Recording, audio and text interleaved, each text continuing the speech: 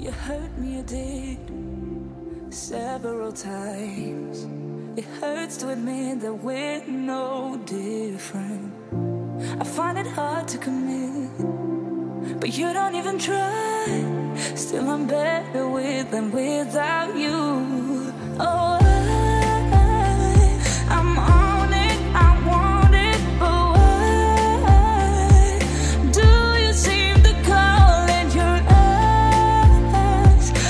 Salve ragazzi, bentornati in questo nuovo video. Oggi siamo con l'ultimo video della miniserie di tre episodi sul mio computer. Abbiamo visto nel primo video tutti i pezzi della configurazione, nel secondo video l'assemblaggio e in quest'ultimo video tireremo le conclusioni, faremo un po' di test, un po' di benchmark, vi dirò un po' la mia impressione, vi racconterò un po' tutto. Nell'intro del video avete visto un po' di giochi di luci delle ventole, non l'avevo fatto nel video dell'assemblaggio perché sarebbe diventato davvero troppo lungo e ve l'avevo promesso quindi ve l'ho portato. In realtà non sono solo quelli, se ne possono fare tantissimi di più, però lo fate vedere un po' comunque carini, un bel di effetti. Allora, partirei subito da un po' delle mie impressioni. Devo dire, il computer mi sta piacendo tantissimo, a livello di prestazioni è proprio quello che desideravo, va davvero molto molto forte nelle cose che mi servono davvero. Allora, vi ricordo velocemente la configurazione con cui andremo a fare i test. Il processore è il Ryzen 7 3700X, con affiancato 32 GB di RAM 3600 MHz e qui un piccolo appunto, l'XMP non funziona bene, se attivo il profilo XMP che li porta a 3600 MHz il computer non è perfettamente stabile, ogni tanto da dei piccoli blocchi,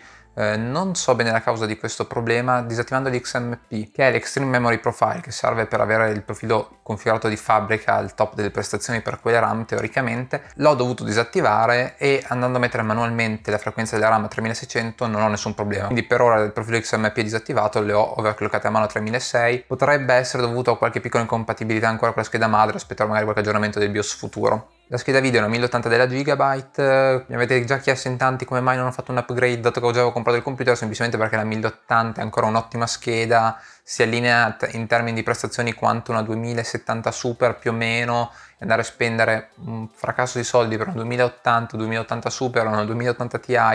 per avere un margine di prestazione, un miglioramento di prestazioni relativamente piccolo, adesso ne vale la pena. Al limite, se col prossimo anno usciranno delle nuove schede un po' più importanti, valuterò l'upgrade. L'ultima cosa che voglio dirvi per i benchmark in ambito gaming è che il mio monitor lì dietro non è un monitor da gaming, dato che arriva al massimo a 60 Hz come frequenza di aggiornamento e ha anche il fatto che il pannello è un 5K. Ha una risoluzione di 5120 pixel per 2160, quindi viene chiamato monitor ultra wide 5K semplicemente perché muove 5000 pixel sull'asse orizzontale del monitor. In realtà non è assolutamente un 5K, però muove più pixel di un 4K, un 4K più o meno a 8 milioni di pixel, questo tipo di risoluzione ha circa 11, quasi 12 milioni di pixel, quindi richiede più potenza di un monitor 4K per far girare tutti i giochi al massimo, quindi vi dico già che tutto maxato a quella risoluzione assolutamente il mio computer non, ancora non lo regge, soprattutto per il problema della scheda video, ma neanche con una 2080 Ti riuscirei. Però il monitor ha davvero tanti altri pregi in altri ambiti, quindi massimo in futuro affiancherò un monitor adatto per il gaming, però per ora mi trovo benissimo con quello. Allora, partirei subito con il primo test che ho fatto Cinebench, classico Cinebench 20, in linea con tutti i risultati che troverete in internet del 3700X, quindi un punteggio che oscilla nei vari test tra 4670 e 4680 in multithread, quindi sfruttando tutti i core del processore. Nessun problema di thermal throttling, le temperature vanno benissimo, adesso ne vediamo insieme. Anche il test con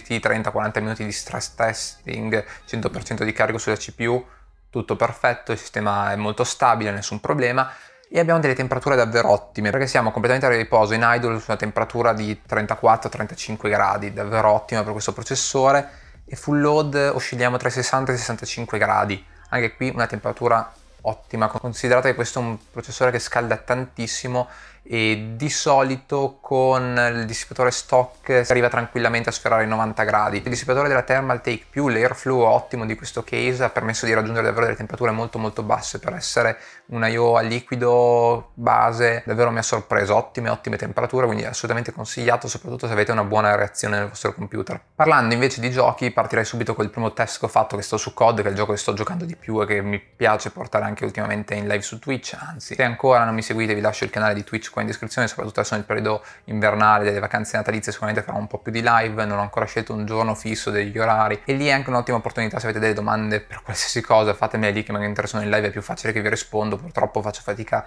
a rispondervi sui messaggi privati che sono tanti, mentre gioco è più facile che vi capita una, una domanda mentre gioco vi rispondo. Per i settaggi di code vi dicevo mai tutto al massimo a causa della risoluzione del monitor, abbasso sempre la risoluzione a un 3440x1440, sempre 21 noni, che si avvicina molto a una pesantezza di un 4K, quindi siamo appena sotto a un monitor 4K come tipo di eh, pesantezza. Riusciamo a mantenere praticamente tutto al massimo, tendo a disattivare qualcosina sulle ombre, qualcosina sui eh, filtri pellicola che danno più problemi che altro nel multigiocatore, si possono attivare quando giocate la campagna perché tanto eh, lì fa meno importanza avere degli fps più alti e stabili. E altra cosa importante è il FOV che è impostato a 120 che è il massimo possibile e quello effettivamente è una grande carica in più sulla GPU come potete vedere l'indicazione in alto a sinistra nonostante la GPU sia al 100% stiamo comunque tranquillamente tra gli 80 e i 90 fps senza particolari picchi sia in campagna sia nel multiplayer quindi ottimo nessun problema. Riesco a mantenere questi fps tranquillamente facendo streaming facendo streaming utilizzando il processore che forse è una delle cose più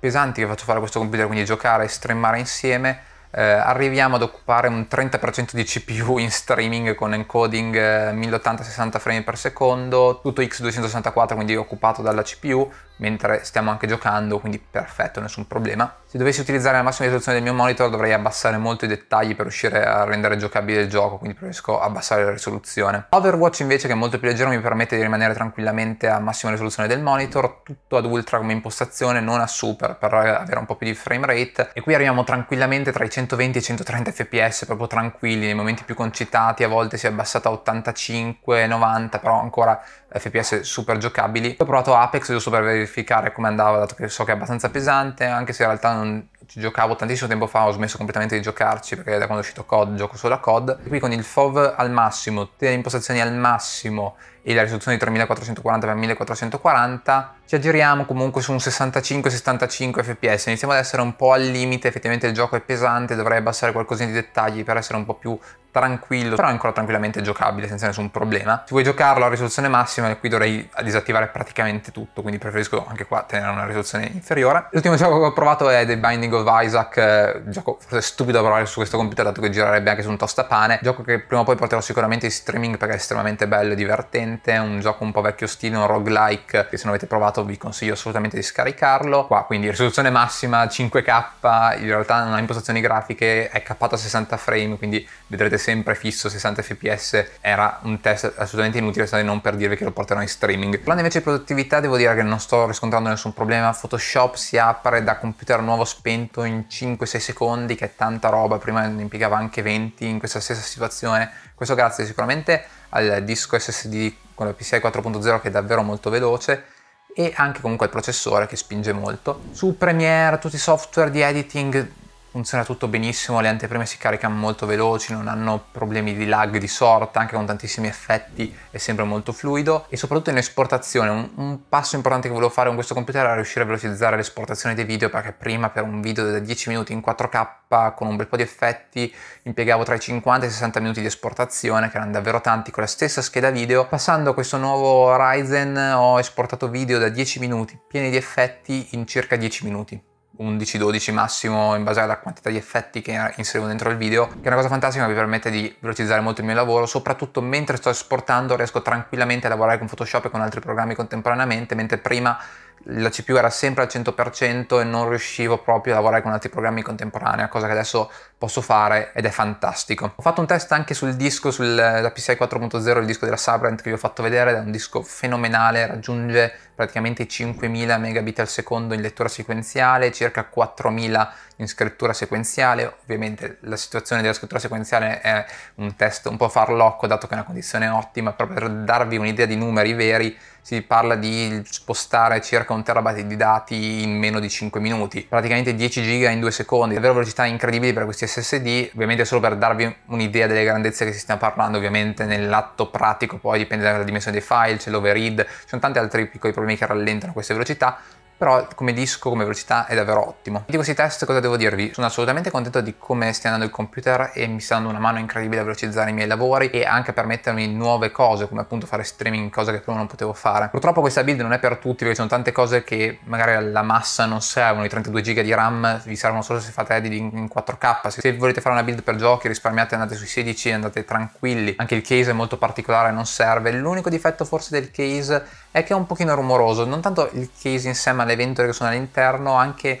al minimo tendono a sentirsi un po' non più di quello che faceva il mio vecchio computer, però si sentono, avrei preferito qualcosa ancora più silenzioso, però di per sé guadagno tanto in temperatura, quindi posso accettare il compromesso. Quindi a parte queste piccole cose che sono un po' più dedicate al mondo dell'editing rispetto al gaming, è comunque un'ottima base per andare a lavorare su un computer da gaming. Si può comunque risparmiare molto, dipende tutto da che risoluzione volete giocare. Pilotare quel monitor a quella risoluzione è davvero troppo e in ambito gaming assolutamente insensato. Avrà sicuramente più senso prendere un monitor magari 2K 144 Hz che per il gaming funziona meglio, anche se sono ormai entrato nel mood dei 21 noni, mi piace tanto, ma un monitor gaming 21 noni costa uno sproposito, si parla di altri 800 euro o davvero troppo. Comunque se voleste delle configurazioni in futuro dei consigli sulle configurazioni scrivetemi pure nei commenti, vi le darò volentieri, non è nessun problema. Magari in futuro proverò a portare qualche cosa di più anche nel mondo dei computer. E non mi resta che ringraziarvi perché ha seguito questa piccola serie di tre video. Se volete recuperarvela vi lascio il primo video, potrei fare una playlist a parte magari con i tre video così li trovate in modo più comodo. In descrizione trovate comunque tutti i componenti del mio PC se voleste riguardarli, se non avete, vi siete persi qualche pezzo del video. E vi ricordo il canale Telegram con tutte le offerte anche sui componenti del PC, sono offerti praticamente per tutto dalla Cina ad Amazon, trovate tutto nel canale Telegram. Se questo video, questa serie ti è piaciuta ti invito a lasciare un like, magari condividerla se ti va, se non ti è piaciuta metti un non mi piace, basta che mi fai sapere cosa non ti è piaciuto del video. La cosa importante